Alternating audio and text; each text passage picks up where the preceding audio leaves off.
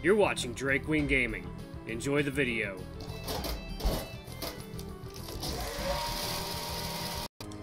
Hey guys, Nary here from Drake Drakewing Gaming, and as some of you know me on Twitter, The Gaming Dragon. Today I'm coming at you another Let's Play episode of Changeling Tale, Jessie's Path. Now, since the last episode, uh, we were giving our lovely girlfriend, a, our lovely fluff girl, a bath, and we saw a mysterious figure walking around outside. I wonder who it can be. so anyway, guys, let's get right into it and see just who is prowling around outside and spying on us. Hmm, I wonder who it is. Alright. When I look outside again, I don't see anyone. Maybe I'm mistaken, or nervous, or paranoid. It could have been anything.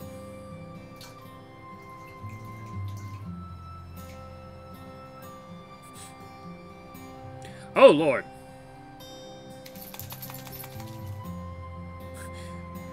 Gonna have to edit a little bit of that. Jessie hops out of the tub, goes down on her paws, and shakes wildly back and forth. Water sprays from the sea from the floor to the ceiling, covering me from head to toe with suds and bubbles. I close my eyes under the deluge. Sopping wet, I reach blindly for a towel.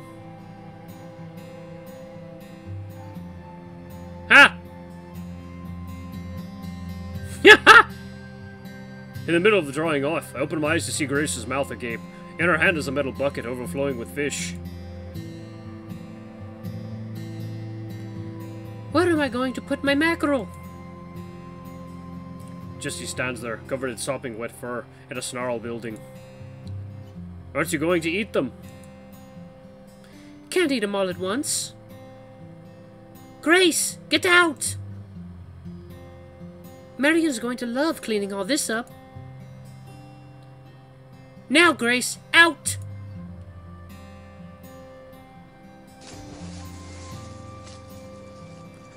Instead, Grace saunters over to the bathtub and empties her bucket into the tub before heading back to the open door.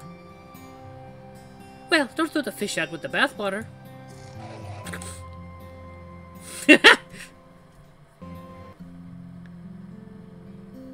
hey, Jessina, bath towel was, uh, pretty hot. After our interruption, it takes a good while to calm Jessie's fury. I satiate her with some liver and cheese, and lots of scratches. We find a spot in the sun to relax and dry off. We pretend the surprise visit from her sister never happened. Grace has taken a shine to Jessie's new appearance. It's one of very few things that has made her life easier during this transition. So, now that I'm fresh as a daisy, we need to head to Glenn's livery yard to fetch a mongrel. Glenn's? The stable? Aye, Glenn's been known to have a dog or two up for barter. I'll offer up one for Marion Springhogs, but just hope old Glenn work in future payments. A dog? You know I was joking last night. You, well, we promised Marion the services of a sheepdog. And contrary to your white lies, I don't think Murdoch has a magically trained pup that can herd his neighbor's flock mind nightly. Even though I can be well trained. I bet you can. I hold her chin in my hand. Then get my cap and boots. We're headed out. Jessie gets on all fours and runs into the house to gather my supplies. Oh my god! She returns with my tam in her mouth and the two boots in front of her paws. She sits upright, panting and begging for my attention.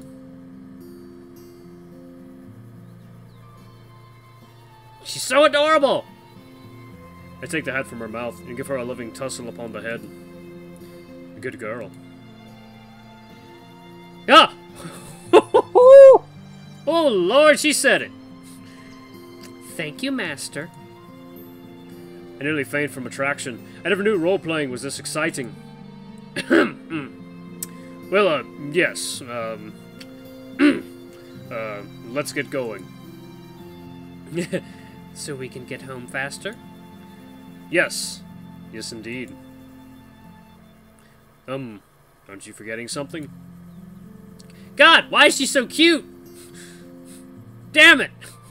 She tilts her head, and I can't tell if she's if she's playing or has truly forgotten. Aren't you wear something yourself? Me? Oh, and I thought you liked me in, the fur, in my fur coat.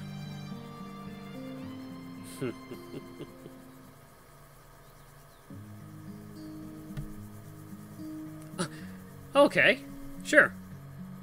Somehow, I gather my wits long enough to get Jessie on the road instead of into the bedroom. She wears a proper outfit, and it feels unusual to see her out of, her, out of her flashy red dress. A dead of self-consciousness at play. The dress simply needs to be washed. As doesn't let the clothes stop her from leaning into the canine side of her hybrid form. The lines between her forms are blurring more all the time. Nope, let me save it right here, guys.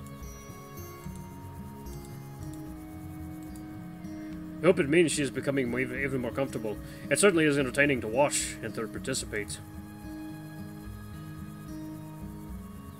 No, God! She bounds all around me, picking up Aaron's sticks and making me toss them for her to chase. Oh, God. Is that drool on her chin? Oh, I don't even want to dwell on that. Where do you get all that energy? I'd love half of it. It's all inside me. I can hardly sit still anymore. The only problem arises when she struggles to get back to human. Jessie, you need to bottle up your fangs, at least for a short while. They're not fangs. Those are my natural teeth. There's a reason they're called canine teeth, Malcolm. Well, they're not going to help us with our bargaining today, that's for sure. Are you kidding? One flash of these babies and we'll get whatever we want.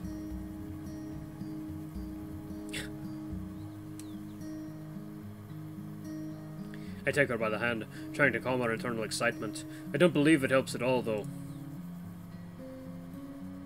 Hmm. Taps her palm to her forehead. The sheep. The sheep?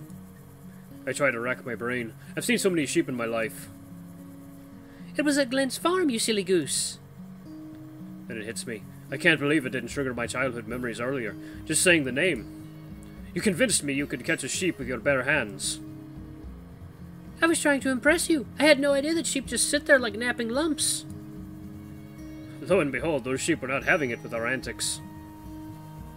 I chased them around the farm all afternoon until Farmer Glenn noticed and came out cursing and shouting. But I got that lamb, by gum. You stood there frozen, holding a bleeding sheep trying to catch your breath. I was so proud of myself.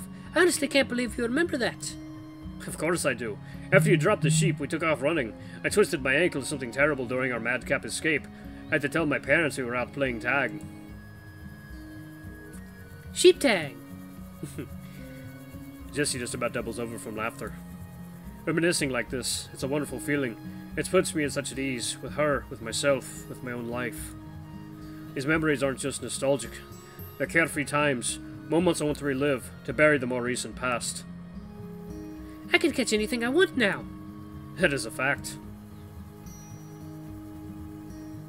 The timing is terrible. Young Florrie Fairfell, young Florrie Fairfell comes soaring down the path of delivery, her barrel hoop and stick flying by her side. Oh, Jesus. Unfortunately, Jessie's instincts kick in once again, and she starts to chase the little girl's toy. She tears off down the rocky pathway. Jessie! Come back! But she's at full speed. Her front paws are visible, stomping and leaping all around the child. Save it right here before she eats a small child. Wait. Toast? Okay. Oh, your toes are so pretty and fluffy.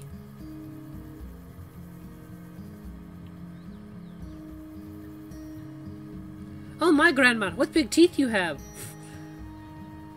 That's an adorable little girl. like her eyes. Her eye color is very, very cool. By the time I catch up, Jessie finally looks embarrassed. She also appears to have come to her senses, crouching like a real person next to the girl in her fallen hoop. Oh, they're simply gloves, Florrie. I pet them? oh, well, yes, if you want. Oh.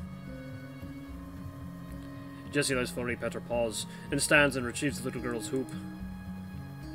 I'm sorry for interrupting your game. Hope I didn't spoil anything. Nope, just going to see my muffer at the bake at the bakery shop. Muffer? Ah, sorry. Ah, I'm getting his voices mixed up. Muffer. Ah, mother. Mother. Tell her you deserve the biggest fern cake. You're such a sweetheart. Thank you, Miss Doggy. You deserve the biggest biscuit.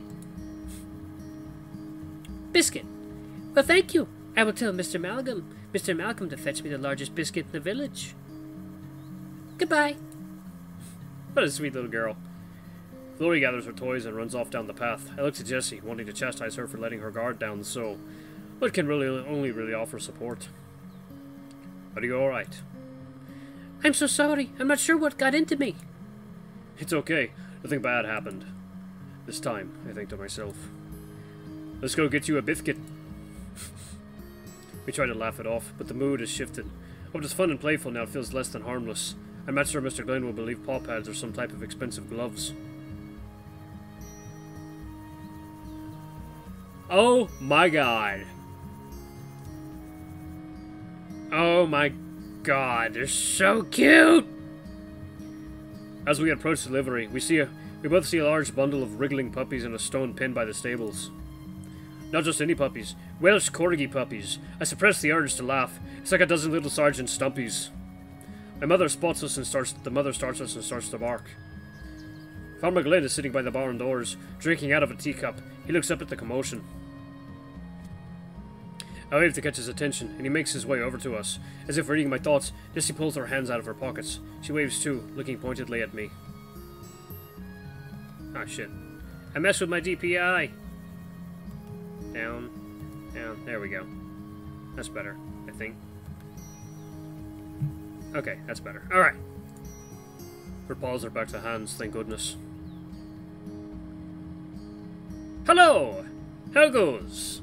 It brings you two out of this way on such a glorious day? You look up to the clouds. Is, is he seeing something we don't? We're here for a dog. We'd like to get a herding dog for my sister Marion and her cows.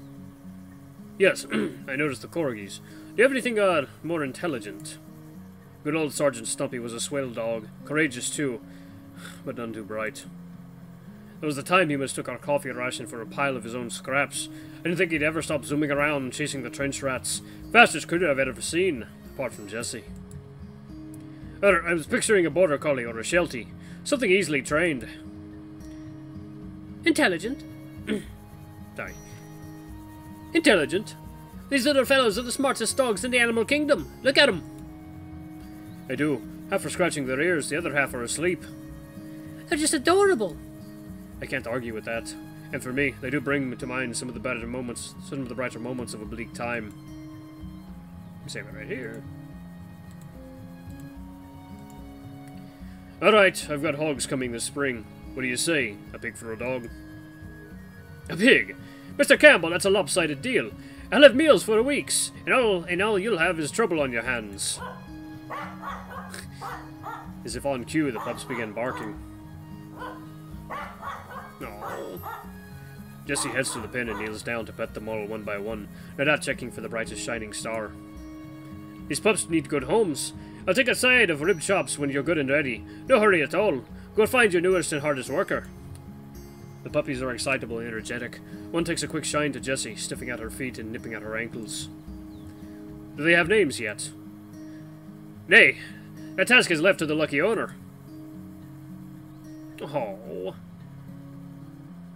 Jessie holds the puppy aloft. With its fluffy golden coat, it looks like a loaf of fur bread. This! This is the one!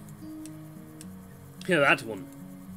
The lady knows her canines. If she says that's the one, then that pup is the pick of the litter. It's all yours. Should be easy to train. Set it up with the herd as soon as you can. Its instincts will kick in in no time. Jessie sets the dog down, and it starts chasing its own... Well, it doesn't have a tail. It spins, chasing its own nub. A real genius. Oh, it's the cutest thing I've ever seen in my life. I step into the pen to get a closer look at the little ball of fuzz. All the while the dog galumps along, right under Jessie's feet. You two seem to be quite the pair. I hope it bonds with Marion as much as it seems to be bonding with my ankles.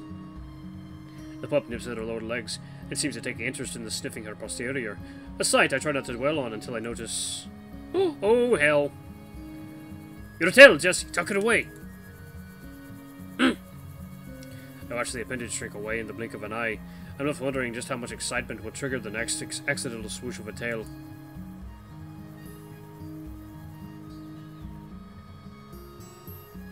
As he gathers up the squirming dog, and we pay our thanks to Mr. Glenn. There's no worries, Mr. Campbell and Miss McLeod. Least I can do for a returning hero. Would have served myself if it weren't for the leg. He taps his left he taps his left calf with his cane, and we hear the hollow sound of wood. Oh my! I'm so sorry, Mr. Glenn. I'd forgotten he'd lost a leg as a child. In honor, sir, no need to call anyone heroes around these parts. We've all, we've all been through enough to call each other heroes. On that I swear.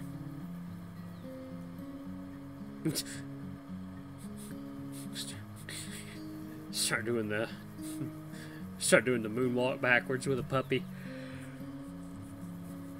Ugh, ugh, ugh, mm, feel good episode.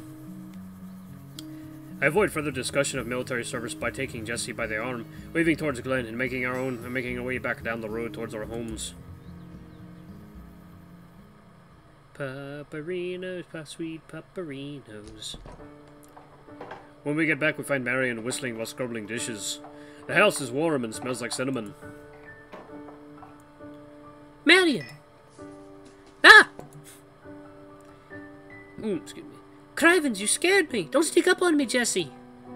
We have a surprise for you. Me? What? Jessie takes the puppy from me and holds it aloft in front of her in front of her sister. The dog has gotten sleepy during the last few minutes of our journey. It looks like a fuzzy potato in Jessie's outstretched hands. Oh my good lord! For a moment, I worry that Marion may balk at having a new mouth to feed and a little soul to care for but she wears her heart on her sleeve, and we can already see it melting from here. Jessie and I laugh. Marion puts her hands out to take the dog, and pulls them back to her apron. R really? For me? I... I don't understand. For you. It's your... It's for herding your cattle. Well, not it. He. He's a boy. You can name him whatever you want. I can't believe it. Here, take him.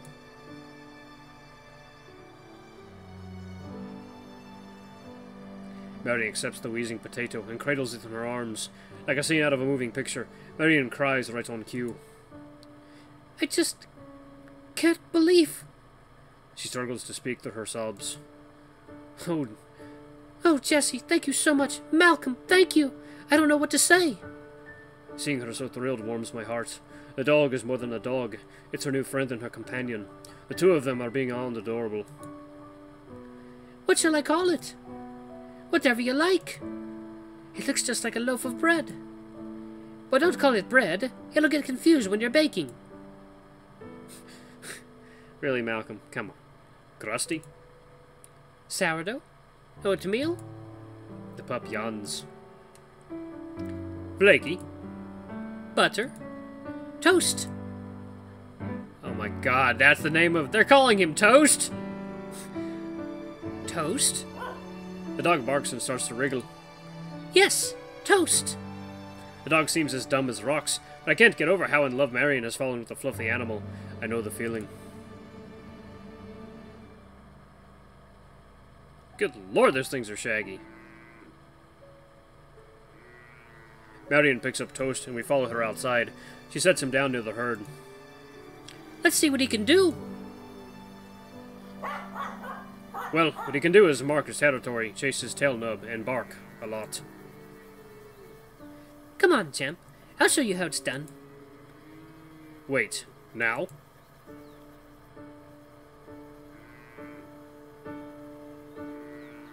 It's adorable. Thankfully, Jessie stays human and proceeds to jog in circles around the cows, who remain nonplussed. Toast runs around following Jessie, taking breaths to sniff the grass and bark at nothing. Oh my, you two are so cute! Unfortunately, after a few spins around the herd, the cows do take notice of Jessie. They begin to follow her lead. A couple more rounds, and Toast seems to be aware of his own instincts too. He nips at the biggest cow's heel, which gets her moving towards the pen. Good boy, Toast. It's a spectacle, all right, but it's also nice to see Jessie being so playful, so alive. I've been worrying about her safety, and mine, so much that I've had little time to think about us. This is what I love about her her joy, her spirit. She's fearless, brave. Maybe everything I've forgotten how to be. Everything I need back in my life. Who knew having a werewolf for a girlfriend would force me to re examine my own choices, my own life? I know who I am with her. Who am I without her?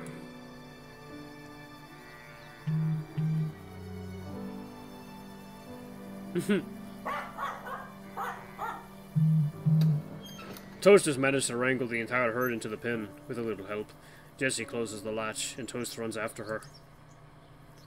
What a wonderful dog! George jumps back into Marion's arms, and the two of them share another cuddle session. Jessie sidles up to me, and I wrap my arm around her. Thank you both. A million times over. It'll be nice to have some more help on the farm. And a new friend. Both Marion and her dog make moon eyes toward each other. Oh. Alright, guys, we're going to save it right here. This has been an absolutely adorable episode. Thank you guys so much for watching. Don't forget to like, comment, subscribe, and ring that notification bell to the next video. I love you all. I'll see you next time. Bye-bye!